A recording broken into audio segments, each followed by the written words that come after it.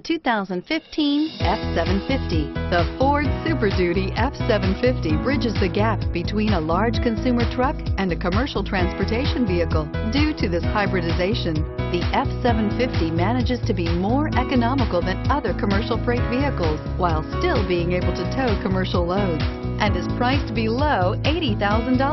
This vehicle has less than 100 miles. Here are some of this vehicle's great options. Air conditioning, front, power steering, cruise control, AM FM stereo radio, MP3 capability, cup holders, four-piece floor mat set.